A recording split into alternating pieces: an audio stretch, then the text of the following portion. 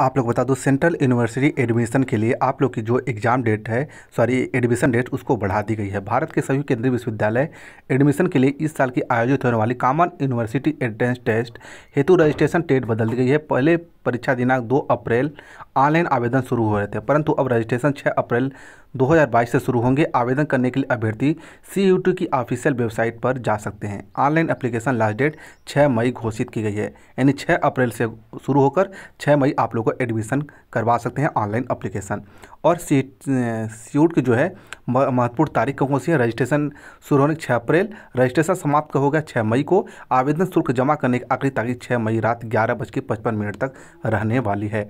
साथ ही साथ और क्या है न्यूज़ है?